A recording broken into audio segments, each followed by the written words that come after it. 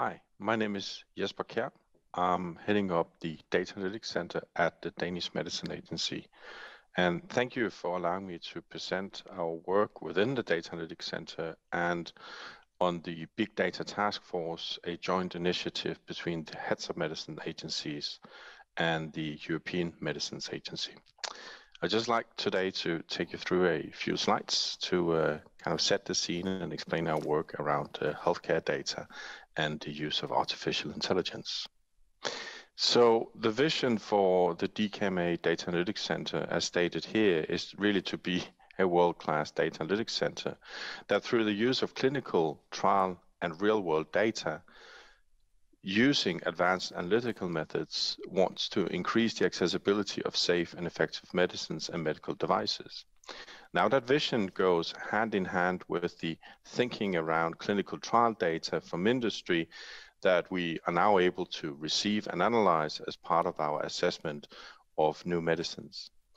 This type of data is seen in context with healthcare data, not as big as the industry may see it, or we historically have seen it.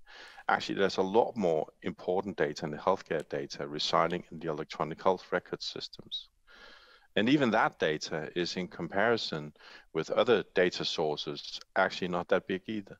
So the health data outside of the healthcare system, coming from activity trackers, sensors, grocery shopping, etc., is actually a magnitude bigger. And that is an interesting uh, approach to consider healthcare data from any sources.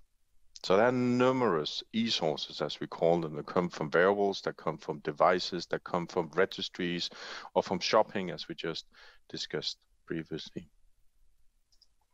All of this to us comes together as what we call new data sources for precision medicine. So that will be part of the behaviomics through the shopping and the sensors, the clinical data, the variables, and even social media data. And all of that combined with the omics data that generates from genomics and proteomics, and also importantly, imaging data. All of that make up a digital print of us as individuals, thus really supporting us in enabling precision and personalized medicine.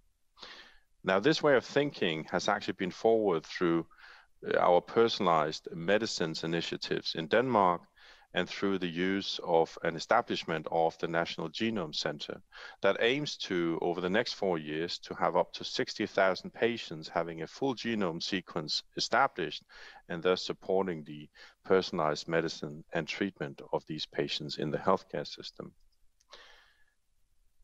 Beyond this, there's also the National Biobank that currently hosts more than 25 million biological samples across the entire Danish population, really taking blood samples from the time of birth uh, since 1982, and uniquely being able to combine that data with the uh, Danish registries and through the CPR number. And through that, really create what is written on the wall as you enter the biobank facility that the epidemiologist's dream would be Denmark when an entire country is a cohort, as we have samples from newborns and through their entire lifespan. All of that opportunity of all of this data is really being brought to life now with the latest life science strategy has been just just has been released. There are 38 initiatives in there which I would just like to highlight one of them, is the establishment of a secure national analytics platform where we can combine all of these data sources to then do the research and do the life science necessary insights into how uh, treatment and diseases are progressing. That goes well in hand with our vision and strategy for the Danish Medicine Agency for the past five years. And uh, we really aim to be Europe's uh, best in class. We think we've succeeded in doing so. Um, and we are continuously striving to use data analytics in this context. Because through the establishment of the Danish uh, the, the Data Analytics Center, we are really bringing all of these data sources together, utilizing the National Genome Supercomputer. This is where we can take the real world data, the industry's CDISC data and our own pharmacovigilance data and generate new insights into the effectiveness, and more importantly, the safety of medicines as we evaluate these for market authorization and even for the safety surveillance following that.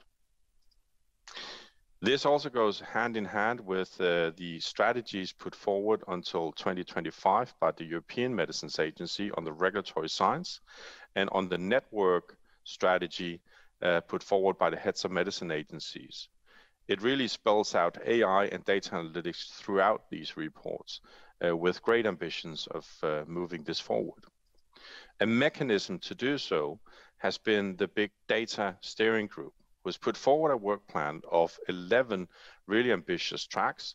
I won't go through all of these today, but just take a zoom into the massive activity that's actually going uh, well underway on this. If we go into the network capability to analyze, this is where the important work around the use of AI, both in regulatory and in life science, is being placed. Rather recently, we held a workshop on the use of AI to inform us about what priorities we should take out of the report and uh, how to execute on those going forward.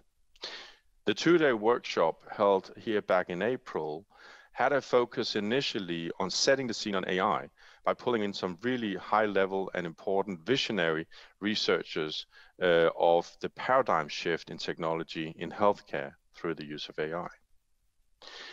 Then we moved on to cover the application of AI in real settings, so in medicines and in medicines regulation, where we had a number of regulatory agencies articulating how they use or are about to use AI in their work, but also to listen to industry of their real use of AI.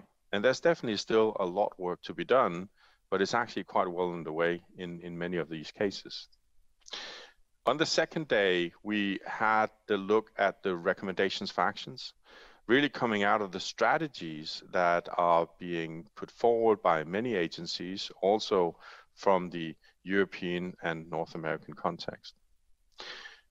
In the discussion round, we brought in a number of really important stakeholders from the inspectors, researchers, academia, the consumers, the medtech, the patient organizations, healthcare professionals, pharmaceutical industry, and also innovation networks across Europe.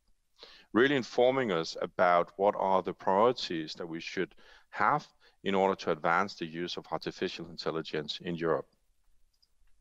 Prior to the uh, workshop, we had a survey sent out in which we uh, asked for a number of uh, prioritizations of the recommendations we have in our report. And here you can see the result where it's clear to see that some of the top scorings were to develop framework for uh, assess and validate AI and international collaboration and engage with agents, with experts uh, from the agencies.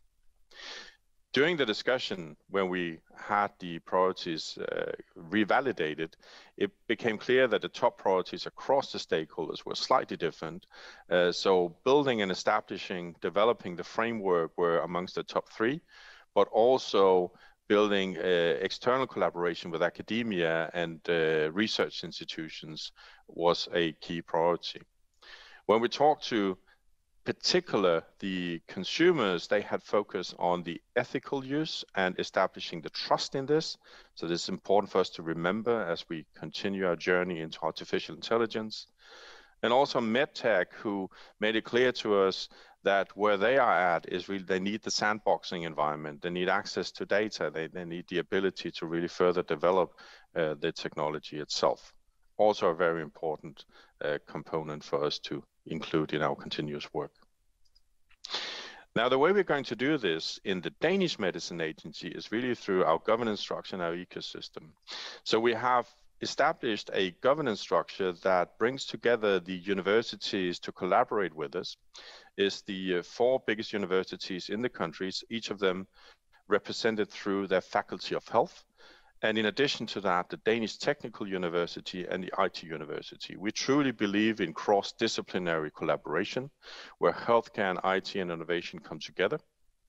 And through that mechanism of the steering committee, we are able to establish analysis working groups and expert groups to develop what is very much needed in terms of new tools and new methods to analyze big data and to apply artificial intelligence. All of that expertise we'll then take to the network and to the EMA, and also in collaboration with other national competent authorities, really further develop the use of AI analytics across Europe. As one example of how we are going about modernizing the way we work, I can take, a, take you through our pharmacovigilance process as it is today, in which we've actually modernized the way we get reports on side effects coming in from the citizens, from the general practitioners, and from the secondary healthcare in the hospital setting through our databases, through web services, fully integrating the IT systems, aggregating that into our side effect database from which we can do the signal analysis and also jointly together with other national competent authorities. What we are putting on top of this, and has already proven to be rather successful, is the use of the Danish registries to further then understand the signal and analyze any potential side effects. You will by now be able to find reports out there that specifically are addressing the signal uh, analysis related to some of the COVID-19 vaccines, and we'll continue to use these registries for further surveillance. Now, as this massive undertaking of COVID-19 vaccine rollout is underway, we also need to realize that the workload this creates is, is actually quite substantial. So we want to establish and are slowly ramping up to do so to put artificial intelligence not on top of the registries itself, but also on the raw data in the clinical setting. So we are now uh, putting in interdisciplinary consortium to create access to the primary and secondary healthcare data, and through standardized APIs, really get access to the data and combine the data with artificial intelligence to more timely and faster identify potential side effects and address those immediately in our work. All of this still making sure that we have a consistent regulatory process throughout, fully supporting uh, the way we should keep patients safe uh, with treatment uh, of new medicine. This initiative and a, and a, number of other initiatives in the roadmap for the Data Analytics Center is going to apply AI. A few I would like to mention out of our catalog for the next two years is the PK/PD modeling and the trial simulation. Here we will partner up with academia to develop new advanced methods to analyze and simulate data.